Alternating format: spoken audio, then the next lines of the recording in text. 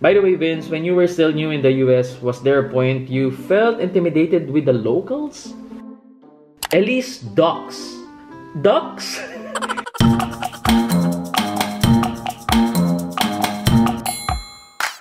Good morning, guys. Oh, tayo'y magdidilig ang aga-aga pa. Bago sumikat ang araw. Hindi, joke. So, ayan na sila. Naninilaw yung ano eh, yung dahon. Hindi ko alam kung kulang sa tubig eh. Pero I think kulang sa tubig. Ayan no. Bakit ganun? Pero itong mga ano, dati wala naman to. So, I think, nag-bloom naman sila. Kaya tara. Wala, tingnan nyo yung kapitbahay namin. May fence na kami. Wala. Walang pambayad. Joke. Tapos mag-sprinkler tayo. Siguro mga isang oras. Ay, wag naman. Mga 40 minutes lang. Kasi base sa weather, hindi ata uulan one of these days. So, kaya kailangan mag-sprinkler na tayo.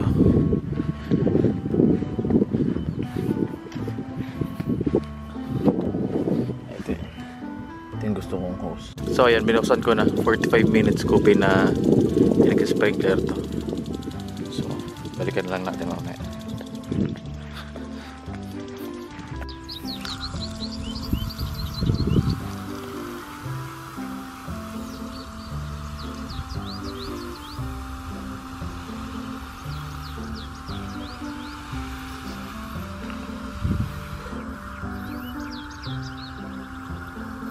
Mamamatay na tong lavender. Pero perennial naman to eh, so mabubuhay ulit yan. Kasi itong daily libuti naman nabubuhay siya. Ano ano yan? Anong camera? Canon. Ano yun? Parang Sans Rival guys. Rival, oo. I mean, ano ha, kasi yung sunod mga 50 hours na yung flight, hindi naman kami gaganon mga 50 hours. Sige na, magbayad na lang ng para direct flight nyo rin. Hmm. Pero mura, hindi naman mura. Happy birthday! Happy Idol Beans. Idol Rocky.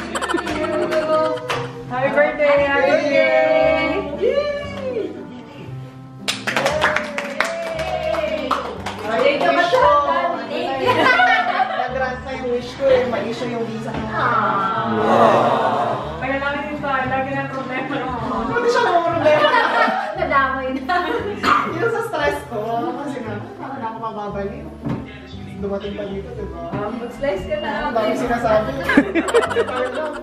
ano pa nung slice natin? Ay, ito may kuchillo. Hey, Vince, tata. Yung kasama dyan. Bakit? Ba't pala yun? May, pinagtataguan ka ba? Mga discover, charot. wow. Ay, punta kami dito ng ano lang. Masyal. Uwi kami may pangarap na. Kaya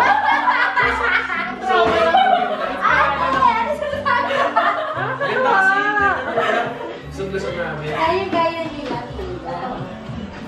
Konting oil lang. At second job. Matapos lang yung Kaya, ano, kaya. matapos namin yung contract. What's up, madlam people? Kakatapos lang ng work as usual. Ito na naman tayo. Gutom na naman ako. Ko tayo ng makakain mabilis lang kasi ako ay magpapagupit. Dito, hindi ano, pwede rin mag walk-in walk-in sa gupit gaya nung sa Pilipinas. Pero dito, karamihan appointment. Ay, gusto nyo yun. So, pag na-miss mo yung appointment, hindi sila yung magkakabul sa'yo. Pag na-miss mo yung appointment, wala na.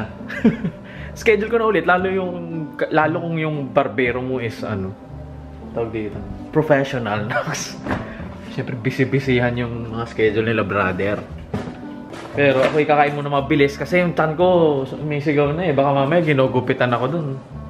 At tsaka maaga pa naman. Baka yung chan ko kumukulo. yung tsura ko, no? Kapapagupit na ako kasi tingnan nyo naman yung tsura ko. You look so wasted. Tapos, after magpagupit, bibili ako ng tubig kasi wala na kaming tubig. As in, simot na. Grabe, alangan hindi kami uminom ng tubig. Well, meron naman kaming tubig dito pala by the way. Pero, you know, maarte tayo. Yung gusto ko talaga yung distilled or purified. Kaarte yan yun. Eh, ganun. Basta, ganun. Bakit ba? Okay, pizza tayo. I aking ima-microwave na lang. Dumikit, ano ba yan? Yes. Oh, pwede pa kainin. Yan, so pwede naman yung tatlo. Apat na lang, apat.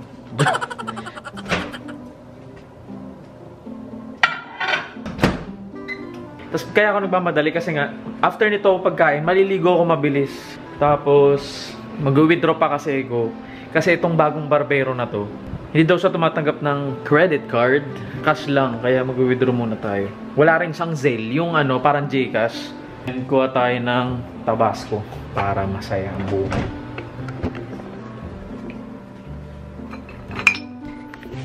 Tabasco. Ito. Na lang ako para mabilis lang. Sorry ang kalat ng bahay kasi busy-busyhan tayo, ganyan. Dami tayong ginagawa lately. Tayo parang natunaw na yung Welcome to my eating vlog. Eating vlog? Ano tawag doon? Mukbang pala. eating vlog. Ay, meron din pala akong chicken nuggets.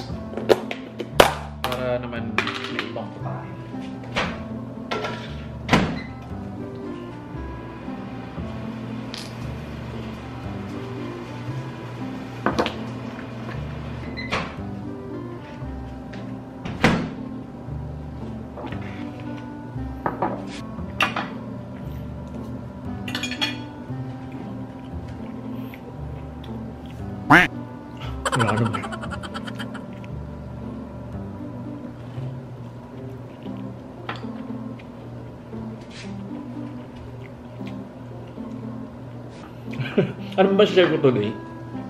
Let's go, go, go! Late na ako! Kala kong bilis ko kumilos ang bagal pala. Sorry, ang gulo na. Ayan, mag-withdraw muna tayo mabilis dito sa... Anong tawag dito? Bakit ganun? Drive up.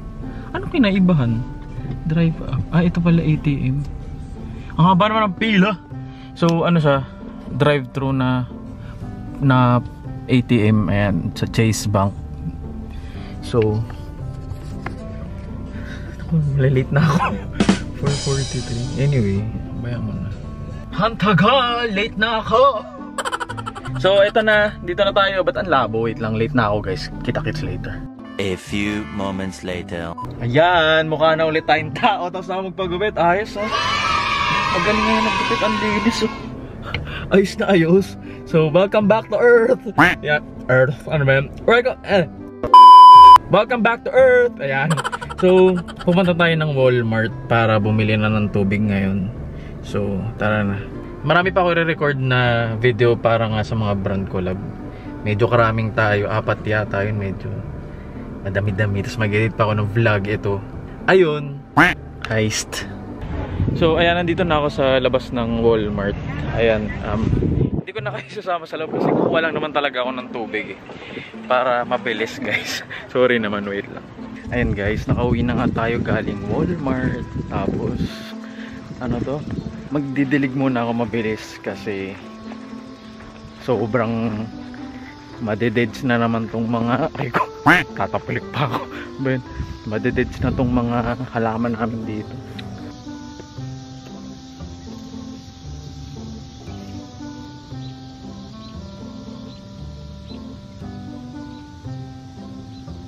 medyo ingat lang baka mabasa yung camera eh no? Kaya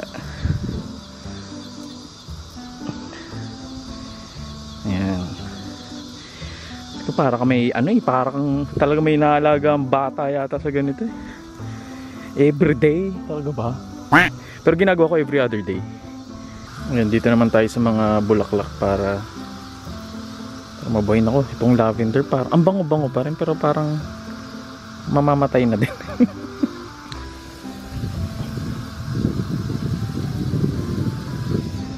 ito ba nagiging pink ba talaga to bakit ganun itong mga dahon niya buti pa tong piton niya buhay Ala, grabe to. Tingnan nyo to. Di ba nung nakaraan wala to? Ang bilis tumubo. oh. Mga weed yan eh. Hindi ko alam kung ano to. Ito yung mga peste. Tatanggalin ko yan kapag ano, nagmow ako. Ito. Ano ba yun? Mas, mata mas mataas pa siya dun sa totoong halaman namin. Kasi itong puno na to, itong crab eklabo, nakalimutan ko kung ano eh. Hindi siya green eh. Hindi, actually, pero pag tinilapitan mo, pag tinitigan mo, ayan oh. Green siya. Pero maroon yung ano, dominant yung maroon pagka maroon. Which is weird and beautifully weird. Ganon. May masabi lang. Pero ang ganda niya oh. Pag nabasa na. Green and red. Kasi ito, ang dami mga weed, oh. Mga, yan, oh, mga tumutubong mga ano. Wild flower. Ay, hindi pala siya flower. Wild leaves. mga, kumbaga, peste. Pesting yawa. Joke.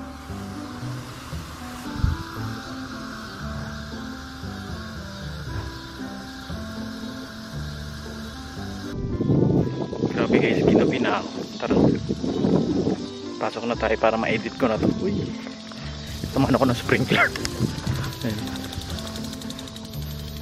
Ingat, baka mabasa. Hello, what's up guys? Tayo'y nagbabalik. So, welcome to my channel. If bago ka sa channel na to, ako po si Vince. I'm a Filipino YouTuber dito sa US. So, I make different videos about yung journey ko dito. So, mga buhay Amerika content. So, kung ganun yung content na gusto mo, or kahit hindi, sa- sana masuportahan mo tong channel na to by clicking the subscribe button and yung notification bell para updated ka kapag may bago kong upload. So, simulan na natin sagutin yung mga comments doon sa latest video. Video? Pipili lang ulit tayo guys. Siyempre dumadami na masyado, mahina kalaban, ganyan. Kakatapos na mag-delay, ganong oras na i-edit ko pa to and then upload. Okay? Cricket Aya, Sir Vince, question lang po, did you close all your credit card accounts in the Philippines before migrating to US? I'm thinking kasi if I have to close mine or not. Thank you. So yung sa akin, if I'm not mistaken, 13 yung credit cards ko sa Pilipinas. So bago ko umalis, ang tinira kong active yung BPI, yung Citibank, tsaka yung Security Bank. Yun yung tatlong paborito ko eh. Bakit? Kasi nga yung BPI, no frill card yun. Yung BPI card ko ah, yung blue. Pero ang tagal ko na kasi sa BPI, yun yung pinaka yun yung pinakauna kong credit card hanggang sa tumas ng tumas na lang yung credit limit. Tapos ano siya, parang hindi nagpapatong-patong interest or baka kasi binabayaran ko naman agad. So going back to your question, Cricket eh, yun nga. Kinlose ko lahat nung 10 na credit cards tapos yung tatlo. So until now, ngayon, sa moment na to, active yung BPI tsaka yung Citibank pero hindi ko na ginagamit. Wala lang. Hindi pa nag-expire. I don't know. Pero hindi ko na rin magagamitin kasi meron marami na akong credit cards dito sa US. So yun, sana nasagot ko yung tanong mo, Cricket Eya. So suggestion ko, since bago ka dito, wala ka pang credit card, wag mo muna i-close. Marami ka bang credit card? Kung konti lang naman, siguro magtira ka lang ng dalawa. Yung ma- mga mataas yung limit, ganun. Tapos yung madaling bayaran, kunyari BPI nga, kaya mong bayaran agad. Basta as long as, yun nga, kaya mong bayaran agad pag ginamit mo. So, para hindi hassle. Next is LP J. Trub. Trube? Sir Vince, ako po yung nag-message sa IG nyo, yung dating kawork ni Miss Joe. OJT nila ako that time. Hello, LP!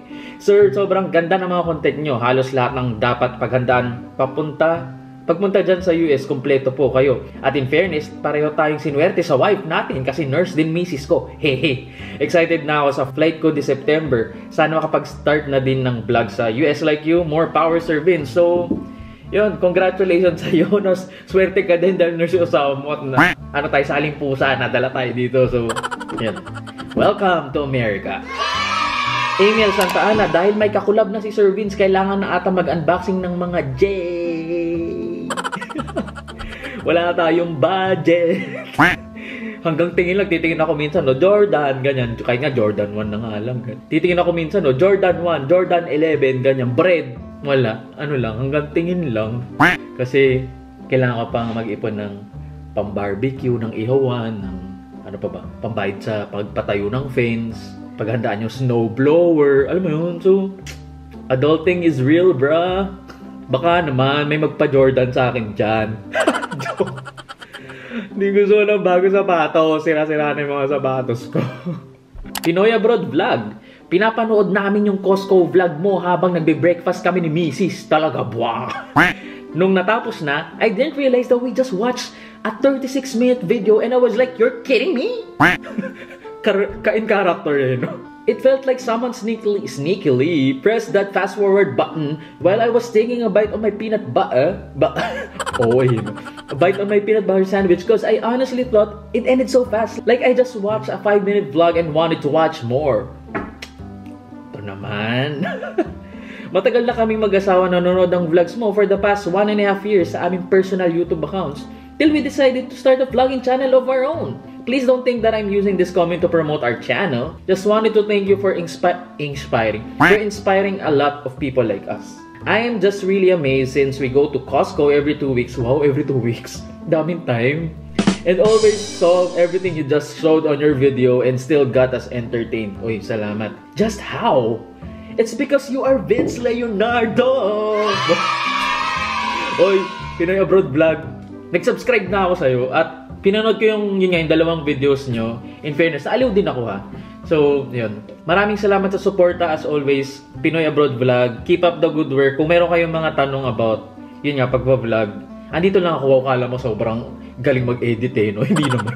So, yun nga, andito ako to inspire people, especially yung mga kababayan nga natin. So, masaya ako at na-inspire ko kayo. Elise Docs. Docs? Oh, do. Elise do. Ano ba basa nito? Hi, salamat. Wednesday na naman. May new video ka. Silent viewer here. Nurse ako aiming na maging USRN soon. Magiging USRN ka din. Mag-take ka na ng exam para maging USRN ka. Keep on posting, Sir Vince. I will, for sure. Keep on inspiring us. Oh, yeah. May mga sagot lang. Pero hindi. Maraming salamat and sa lahat ng mga balak mag-take at magte-take na ng USRN, i-generalize ko na, i talaga ipagdadasal ko kayo kung ano man yung goal nyo sa buhay, mga pangarap nyo sana matupad nyo din. Para masaya lang tayo lahat, di ba? Tama, chill lang, ganyan. Thanks, Alice. Paolo Sanchez, nice one, Sir Vince. Excited na din kami ng wife ko makapunta na US. Nasa stage na kami ng DQ. Oy, next. Dairy Queen. The joke. Document. Document qualified ba yun? Oh, anyway, basta yun yun, di ba? Sana next vlogs nyo is paano makakuha ng car through IAS, IAS or Advantial or any credit institution na walang credit history. Po, if kaya nyo po maging detail, pros and cons. Since accountant po kayo, uy, hindi ako accountant. Pero parang ganun din, in- internal auditing yung manager ko nung college. Pero yun nga, medyo general accounting yung... Sige na nga, accountant na rin yung tawag sa akin, fine. Pero I'm not a CPA. Para pagplanuhan namin magiging new immigrant sa US. Keep it up, Sir Vince. Oy, thank you, Paulo Sanchez. So yung IAS or yung IAS nga, International Auto Source, ano sa dun para sa mga immigrants na yun nga wala ka pang credit, makakakuha ka ng kotse. So itong IAS or yung International Auto Source at yung Advantial, parang second time ko na tong nabasa or third time ko na tong nabasa dito. I'm not sure kung ikaw rin yung nag-comment noon sa mga previous videos ko, Paulo Sanchez. Ito by the way guys, disclaimer, this is not sponsored. Itong video na to, hindi siya sponsored ng kahit na anong kumpanya. This week, So, so nag-research pa ako guys para sa inyo, Paulo Sanchez. So, kaya ko binasa tong comment na to kasi kung meron man tayong mga kababayan dito na nakatry ng AYAS or nung Advantial, let me know, comment down below and sa para malaman din ng mga viewers na pagpupunta dito sa US, wala pang kotse. Pero ito I suggest ha, pagpunta mo dito, hindi lang naman yung AYAS or yung International Auto Source nga at yung Advantial, yung pwedeng magbigay or pwedeng magbenta sa'yo ng kotse without any credit history or down payment. Ang dami kasi dito na ma-approve ka ng kotse na zero down payment and no credit score or credit history nga. Pero ang catch is mataas yung APR or yung rate nga. Kasi ganoon talaga, wala ka nang down, wala ka pang credit history which is alam natin dito sa Amerika, importante yung credit score mo kasi doon malalaman kung good payer ka ba. Alam mo yun, so since baguhan ka, medyo mataas talaga yung rate mo. Kasi meron din akong kilala na nakabili ng kotse bago sa dito mataas yung rate na nakuha niya. So ito masasuggest ko, Paulo Sanchez, pwede namang mag-research ka din. Marami dyan na iba't ibang mga kumpanya na nag-offer na kahit wala ka pang credit score, walang down payment, makakabili ka. Like yung maraming ads dito sa TV, eh, yung Carvana. Sikat yun. Alam yun ng mga nandito sa Amerika. I'm not sure CarMax kung nag-offer sila ng zero credit. Pero pag ginugel mo at pag nandito ka na, same day, mauuwi mo yung kotse. Try mo kasi at least para more options. Hindi yung IAS at yung Advantial lang. Next is Jeff. Nice content, Vince. I can imagine myself doing in the future at Costco. Couldn't wait for that moment, Nox.